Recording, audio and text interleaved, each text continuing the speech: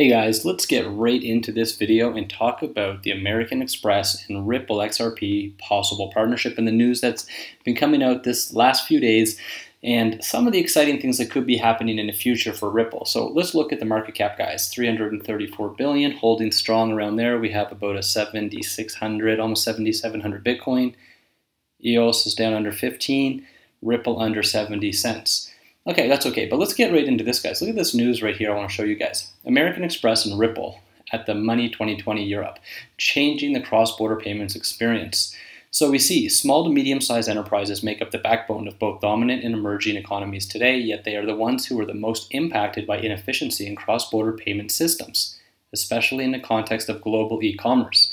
Okay, so we know the cross-border payments is huge right now. Everyone's trying to get in on it, and Ripple's doing a good job making constant partnerships right across the financial institutions, Western Union, MoneyGram, all the news we heard about in the past. There's future things coming out, and we know about the big banks looking. And all we need, guys, we need one of these big banks to prove that XRP is helping them save money, make the transactions faster, and every bank is going to follow them. Okay, so let's go down here. American Express distinctly understands the issues that SAMs SMEs encounter with traditional banking from cross-border payments to access to credit. The company's open forum is a highly regarded and popular platform for resources and support to small to help small and medium-sized businesses grow. Together with Ripple, the companies are working to address the problems their customers face with cross-border payments. Ripple's Xcurrent provides a new blockchain-based infrastructure for global payments. American Express customers are connecting to this infrastructure in a way that is designed for maximum impact and the best possible user experience. Okay, so the consumption of Ripple technology is not a heavy lift for SMEs. Teacher Treacher explained this is because we're implementing within the existing payment networks and banking world. With Ripple Power Blockchain helping facilitate transactions behind the scenes, American Express customers in the US are already seeing quicker payments, and O'Flaherty said the business has seen a decline in customer queries about the status of payments. So we know, I mean, it's been positive news, all the trials that have been using, right, the different platforms and technology that Ripple's out there making with the partnerships, and it's good news ahead, guys. And another thing we're looking at is we're always talking about the financial part of Ripple, right? Well, we know what happened to Ethereum, right? We knew what Ethereum got up around $1,300 or more, and the only functionality was for smart contracts, right? Now we know Ripple is going to get back in on that. Four years ago, they were looking at it. It wasn't the right time. Now they're getting back to it. So Ripple XRP launches smart contract Codius, real, the real Ethereum killer. It could be if Ripple does it right. And this is huge, guys. Again, more money can be coming into Ripple, which again can be helping the price of XRP in the future, guys. Not only the financial side of it, we're also looking at smart contracts. And the way cryptocurrency is changing, smart contracts are huge. Now, Ripple is undeniably dominating the cryptocurrency news cycle with announcements of the new partnership, global events, and new products.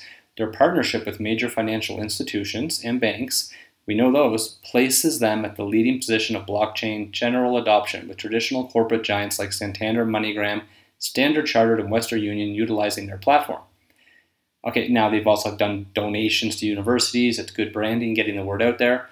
Now, we see, despite their successes, Ripple XRP team has avoided one blockchain factor since 2015. That blockchain factor is smart contracts for decentralized applications.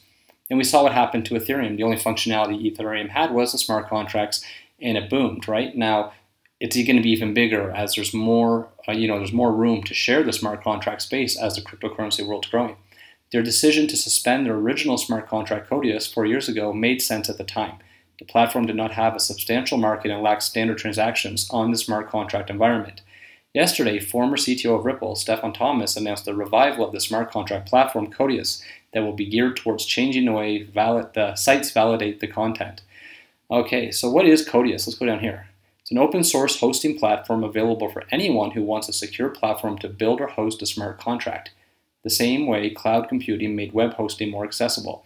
Codius will make experimentation on the blockchain more widely acceptable because people won't need to build from scratch. And this is what I was talking about, guys. The cryptocurrency market now is much different.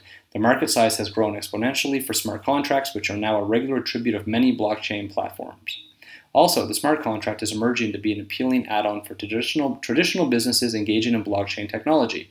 If Ripple manages to create an easy to use and flawless smart contract platform, they could grow their returns even beyond their already admirable array, right? So we'd be getting outside of just the financial aspect of it. Now, guys, Ripple, the haters hate Ripple, the people who love Ripple, you believe in the long term. And what I want to show you guys is, you know, when we were, I was in Ripple a long time ago.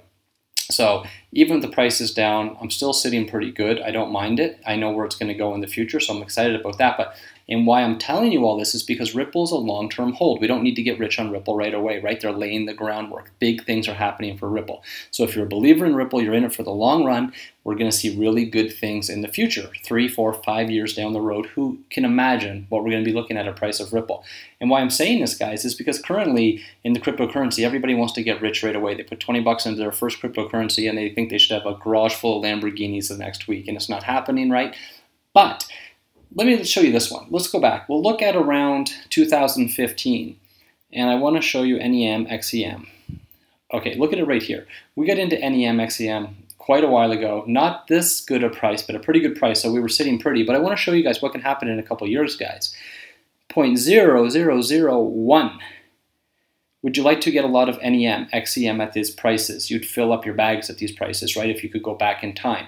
Little did people know when they were investing at that time, if they did, let's come back up. Today's price, um, NEM is around a quarter, 25 cents, but we've hit an all-time high on NEM of $1.80.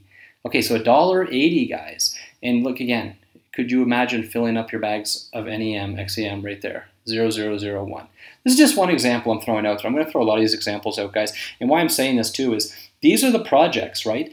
If you can get into a technology that you love, you believe in, you're excited about, if you can get in at these great prices of the new projects that are coming out now, just sit around, wait two, three, four, five years in the future, right? We don't have to be rich overnight. That's what happened to cryptocurrency. All this news came out of people making a ton of money. But the problem is a lot of these people who were making the big money at the bull run last year were in it previously, maybe a year or two before, right? And they had some really good projects they were in at good prices and they saw some big gains. This bull run, when we saw this come up from 2015 at 0001 and up to our bull run that we just saw at the beginning, well, the end of 2017, beginning of 2018, these people were laughing, right? Almost what, 18, 19,000 X returns on that? Imagine you put 100 bucks, 500 bucks, 1,000 bucks in, you'd be laughing, okay? This is going to happen again. Also, I'm telling you this, guys, because we're also giving away a free membership to our Power Crypto Club. And our Power Crypto Club is full-time, 24-7 crypto enthusiasts who like live, eat, breathe crypto. That's all they do, right? They're not the average crypto guys who are checking crypto at night or on the weekend and trying to catch up with some news. They're in it, they're finding out the projects that people should be in, that they want to be in. If you'd like to get in and share some news with them and maybe get some good information from these guys, all you have to do to win a free membership to our Power Crypto Club is subscribe to the channel. We always appreciate that. Give the video a like and then tell me in the comments what you think about Ripple or some other projects that you're excited about that maybe you want us to take a look at. And we're going to pick someone and let them know on Monday. Okay, guys, that's it. Remember, just stay in it for the long run. You don't have to get your $200 million off your 20 bucks in three weeks, right? It's not going to work like that. Just get in some projects that you're excited about and wait it out a couple years. This is still the early days of crypto, right? There's still people that don't know what blockchain and crypto is. So wait three, four, five years when the people at work that never knew what blockchain was are now asking you, hey, can you tell me about this project, that coin, okay? And you're going to be laughing, telling them that you got back into Ripple at under 70 cents. Or maybe, maybe you're telling them, oh, I got into Bitcoin at $7,600. This is when we could be looking at maybe in three or four or five years when that we have trillions of dollars in the market cap, we could have a Bitcoin of 40, 50, 60, $100,000. People will be laughing that you got in at $7,600, right, guys? That's how it's going to work. We're always going to be better, but just put the time in and be patient. Okay, guys, thanks. That's it for this video. I'll see you in the next one. Keep piling up your crypto, guys. Take care. Bye.